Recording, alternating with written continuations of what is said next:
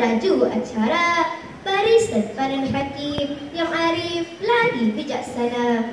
Serta hadirin hadirat yang dikasihi sekalian.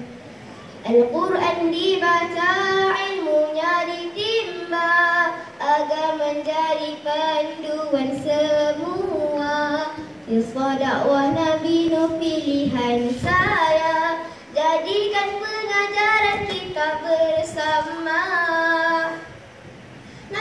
bin Lam bin Midushaleh bin Idris adalah keturunan yang kesembilan dari Nabi Adam. Baginda seorang Rasulul Azmi yang diutuskan kepada kaum yang menyembah berhala. A'udzu billahi minasy syaithanir rajim. ولقد أرسلنا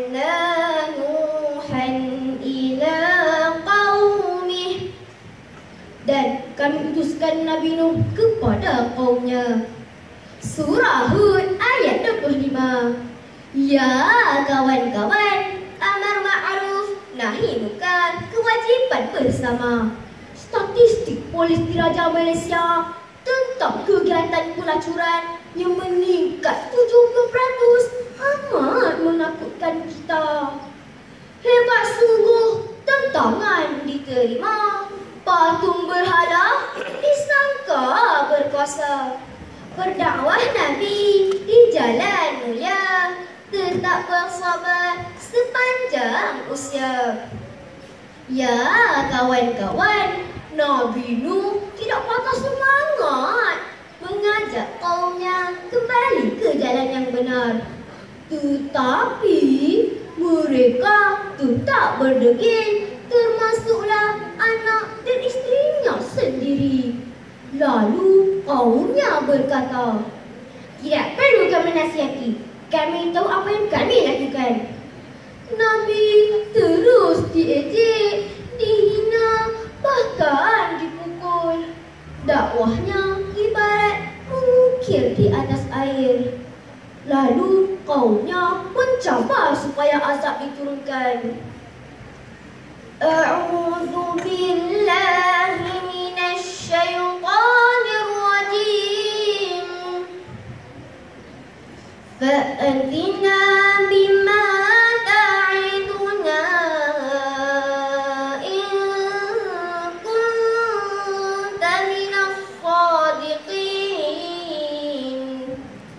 Datangkanlah azab seperti mana yang engkau janjikan kepada kami. Jika betul engkau dari orang-orang yang benar.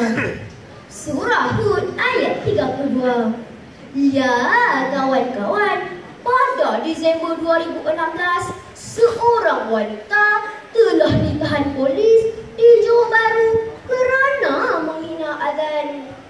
Setelah 950 tahun Nabi Nuh berdakwah, pengikutnya tidak melebihi 100 orang sahaja. Baginda cita lalu berdoa. A'udzu billahi minasy syaithanir rajim.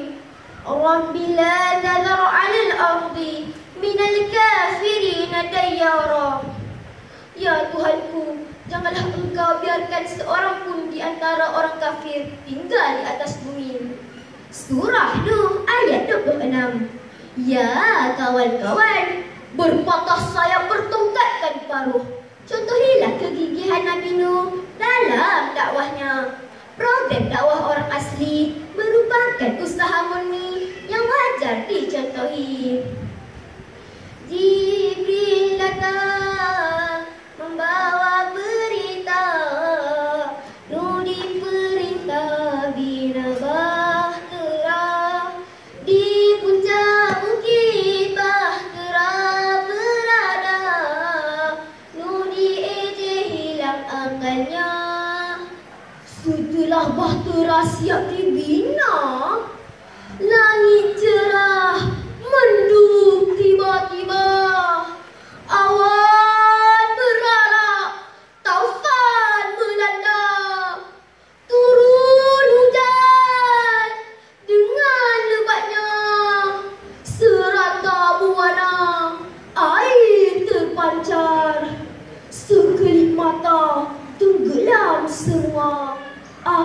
Tuhan terbukti kini.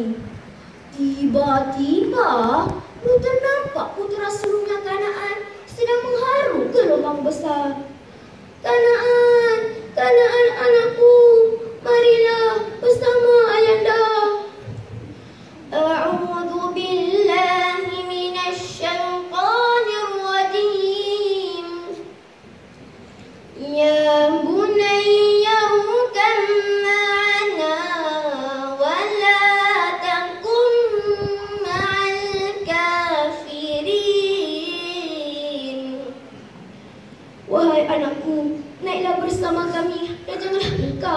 bersama orang kafir. Surah Hud ayat 42. Tetapi Kanaan tetap berdegil dengan sekelip mata dan ditelan ke lubang besar. Ya, kawan-kawan, anak yang soleh dan baik ibu bapa. Kisah adik-beradik yang berebut hak penjagaan ibu di Mahkamah Arab Saudi jadikan teladan. Tiba-tiba terpandang terhadap anak dan istrinya. Hibah hatinya tidak terkira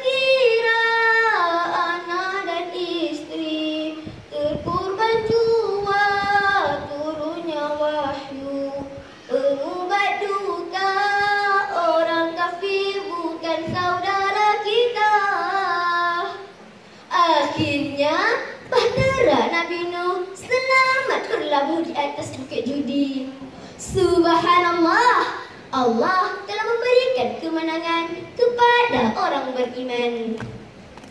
Demikianlah kisah dari Al-Quran. Timba teladan hayati pengajaran Sekian. Wabillahi taufiq wal hidayah. Wassalamualaikum warahmatullahi wabarakatuh. Begitulah cerita dakwah Nabi Nuh alaihissalam yang telah dikongsi bersama dengan kita tadi oleh ahli Ustaz ketujuh dan spontan kita persilakan Ketua Hakim untuk mengendalikannya. Silakan. Assalamualaikum warahmatullahi wabarakatuh. Bagi soalan spontan, memilih baki pilihan sampul yang tinggal iaitu sampul 2 atau sampul 4. Dua Baik, sampul yang dipilih adalah sampul 2. Soalan spontan tajuk dakwah Nabi Nuh alaihi salam. Apabila Nabi Nuh AS membina sebuah kapal besar di atas daratan Baginda telah diejek oleh kaumnya. Soalannya Sila adik jelaskan satu kesan buruk Sikap mengejek-ejek rakan di sekolah. Saya ulang Apabila Nabi Nuh AS membina sebuah kapal besar di atas daratan Baginda telah diejek oleh kaumnya. Soalannya Sila adik jelaskan satu kesan buruk sikap mengejek-ejek rakan di sekolah. Satu minit untuk persediaan.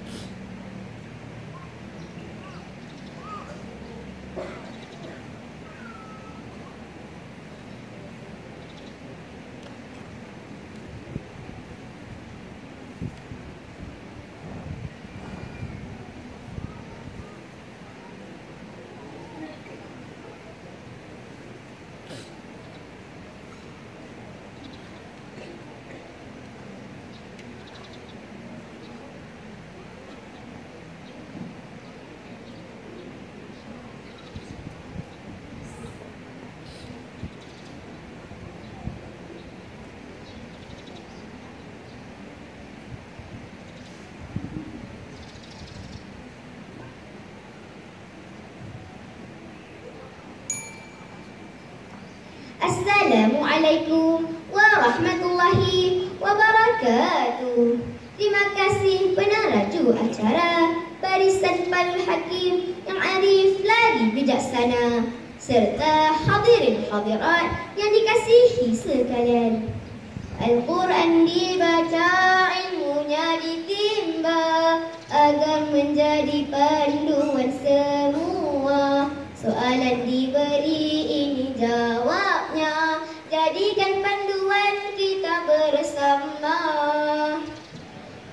Akibat mengejek adalah kita akan dimurkai oleh Allah dan mendapat dosa. Oleh sebab itulah Nabi Nuh mengajak kaumnya kembali ke jalan yang benar. Sebagaimana firman Allah di dalam surah Ali Imran ayat 104. أعوذ بالله من الشيطان الرجيم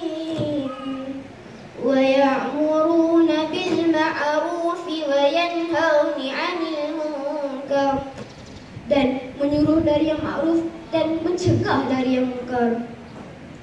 Oleh itu, kawan-kawan, marilah sama-sama kita mengamalkan sikap yang disukai oleh Allah. Dan juga marilah sama-sama mendekatkan diri kepada Allah supaya hidup kita berakhir dengan husnul khatimah. Seperti mana yang berlaku di Kedah, seorang guru agama meninggal dunia sewaktu sedang membaca doa Yasin. Demikianlah jawaban spontan timba teladan hayati pengajaran. Sekian wabillahi taufiq wal hidayah. Wassalamualaikum warahmatullahi wabarakatuh. Demikian tadi jawaban soalan spontan dari episode ke-7 yang juga juga berkongsi dengan kita kisah dakwah Nabi Yunus.